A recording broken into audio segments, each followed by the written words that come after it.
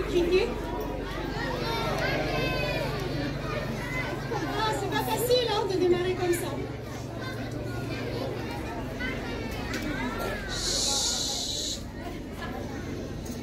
Alors bonjour à tous. Euh, tout d'abord, j'aimerais euh, excuser notre présidente, Madame Roxane Posé d'Amour, qui n'a pas pu être présente euh, parmi nous aujourd'hui. J'aimerais remercier la commune de Trois-Bassins, l'Alambic, Monsieur le maire qui va nous rejoindre dans un instant, et l'ensemble de ses équipes qui nous permettent en tout cas d'être là aujourd'hui dans le cadre du festival des Tagvaro. J'aimerais remercier également l'IEN, l'Académie de la Réunion, avec qui le AIO euh, intervient dans les écoles depuis plus d'un an pour accompagner bah, l'ensemble de ses élèves, avec tout le corps enseignant également euh, qui ont suivi les ateliers, qui ont vraiment été au plus près des élèves pour euh, bah, leur permettre en tout cas d'être là aujourd'hui et de nous proposer en tout cas un beau spectacle. ça fait deux ans, ça fait deux ans qu'on subit les mesures de la crise sanitaire et euh, c'est vraiment super, c'est vraiment un immense plaisir d'être là aujourd'hui parce que bah, de retrouver cette ambiance avec les enfants, de voir un peu les parents, de ne plus avoir les masques et tout, vous imaginez même pas comment c'est hyper important pour nous parce que l'école artistique intercommunale de l'Ouest a à cœur et eh ben, de rendre accessibles les pratiques artistiques et on se veut aussi une école des arts de la scène. Donc je remercie Thomas Begrand qui est au fond là-bas, il se cache un petit peu, mais c'est le référent donc, de ce projet qui a travaillé avec Jeanne-Sophie euh, et Joël de l'IUN. Donc Henri également qui est euh, son binôme de choc et qui ont été présents donc, tout le long du projet pour accompagner euh, les équipes. Ensuite, à l'EAIO, on a à cœur aussi de soutenir bah, les, artistes locaux. Donc on a la chance plaisir d'accueillir Zia, qui, va accompagner les, les enfants tout à l'heure. Et un grand, grand, grand, immense bravo aux élèves parce que voilà, ils vont chanter tout à l'heure, mais je suis déjà très très fière d'eux parce que je les ai entendus un petit peu, j'ai entendu un petit peu ce qu'ils ont fait en préparation.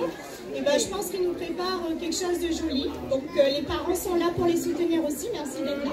C'est important aussi que les parents soient là. Et ben, maman, il fait pète la colle mettre le haillon en l'air, mettre l'école en l'air. C'est cette journée aujourd'hui. Donc, donne à Zot, donne tout votre cœur et montre votre parents que ça se la apprendre pendant toute l'année. Merci à Zot.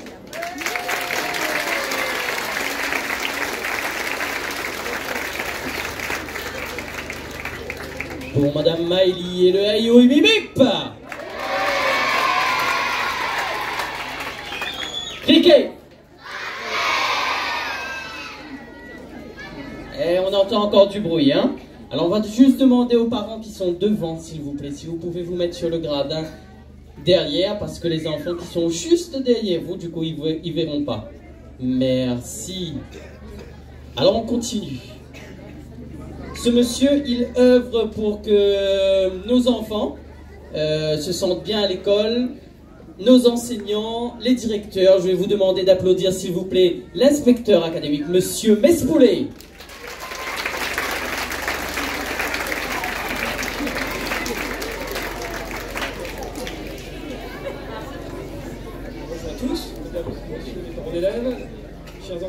Chers enfants.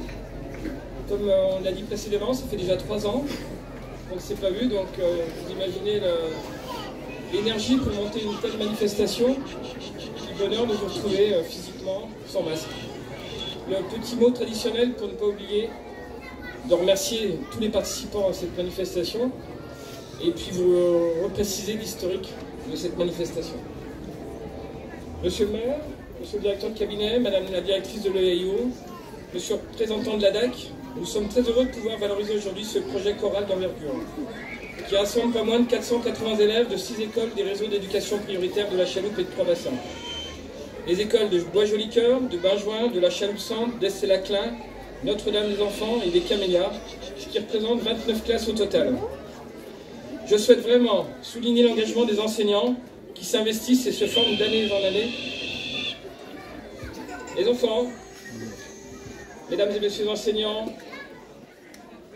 c'est important de retracer l'histoire de cette manifestation et que vous entendiez qui a permis qu'on soit là aujourd'hui ensemble. Les chorales sont une tradition sur la circonscription de Saint-Leu-Trois-Bassins. Depuis de nombreuses années, les enseignants sont formés à la direction de chœur, et je les en remercie. Cela a commencé avec les classes des cours moyens, et depuis quelques années, la pratique s'est étendue aux classes des cours préparatoires et des cours élémentaires, c'est-à-dire des élèves de 5 à 8 ans.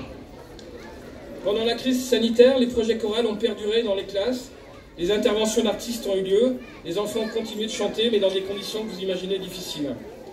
Ces valorisations de fin d'année n'ont pas pu être organisées, d'où le plaisir d'être avec vous aujourd'hui. Nous sommes particulièrement contents de voir aboutir ce projet artistique intitulé Des chansons plein la tête et de voir se produire sur scène, en concert, les jeunes choristes accompagnés d'artistes professionnels. Par la mise en place du plan choral, les ministères de l'Éducation nationale et de la Culture ont affiché leur volonté forte de promouvoir la musique, la mise en place des chorales sur le temps scolaire étant une priorité nationale. Nous pouvons être fiers ici d'avoir un exemple de projet artistique complet qui permet aux élèves de pratiquer la musique, de rencontrer des artistes, d'acquérir des compétences et des connaissances et de se produire sur scène, en public devant vous. Je souhaite souligner aussi, Monsieur le maire, Monsieur le directeur de cabinet, Madame la représentante du TCO, le véritable partenariat entre l'école, les collectivités locales et le monde culturel qui s'est tissé au fil des ans. Nos remerciements vont évidemment aux porteurs et financeurs de ce projet que sont l'EAIO, l'ADAC et la mairie de Trois-Bassins qui accueillent et soutiennent la manifestation depuis le début dans le cadre de ce festival des TAC Un grand bravo et un grand merci à tous. Merci beaucoup. Merci, monsieur Lesplé. Alors, on va continuer. Et je vais vous demander, s'il vous plaît, d'applaudir euh, monsieur le maire euh, Daniel Posé.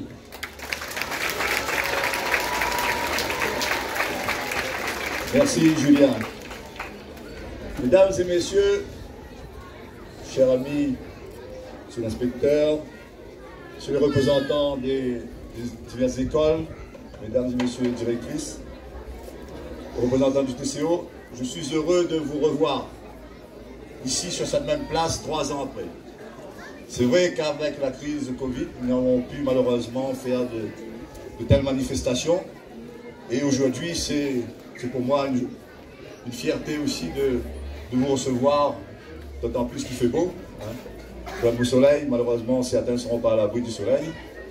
Et juste pour information, donc, cette place va aussi disparaître dans quelques, mois.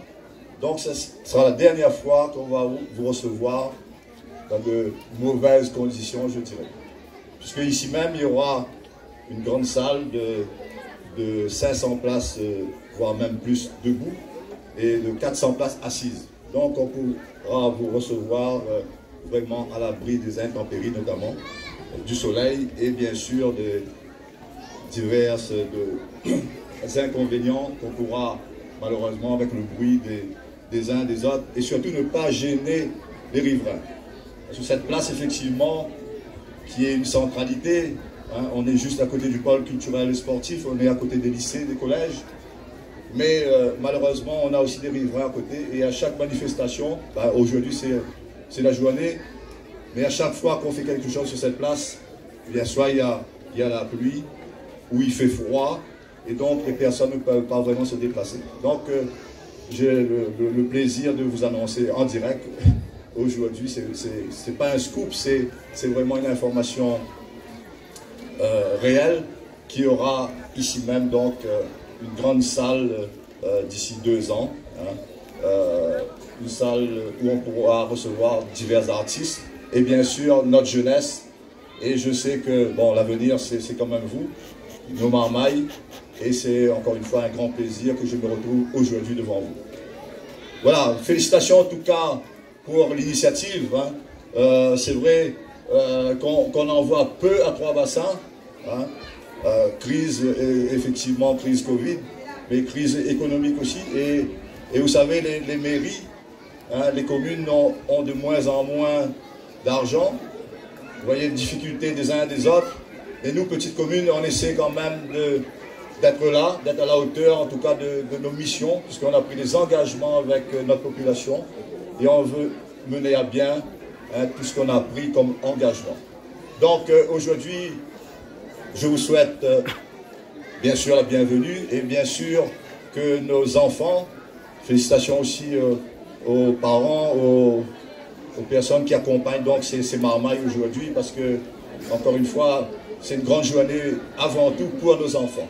Hein. Ce n'est pas de tel événement sur la commune, euh, c'est vrai que je le dis à chaque fois, qui fait découvrir encore une fois notre petite commune des Hauts, hein, qui a bien besoin non seulement du développement, mais aussi de se faire connaître. Et le but de cette opération, encore une fois, aujourd'hui, c'est d'amener des gens à Trois-Bassins, découvrir Trois-Bassins et découvrir tout ce qu'on peut faire de, de bien pour notre petite collectivité et pour notre jeunesse notamment. Voilà, merci mesdames et messieurs de m'avoir écouté. Merci, monsieur le maire. Et eh bien sans plus tarder, on va débuter cette euh, manifestation. Je vais, s'il vous plaît, si vous pouvez vous mettre en haut du gradin.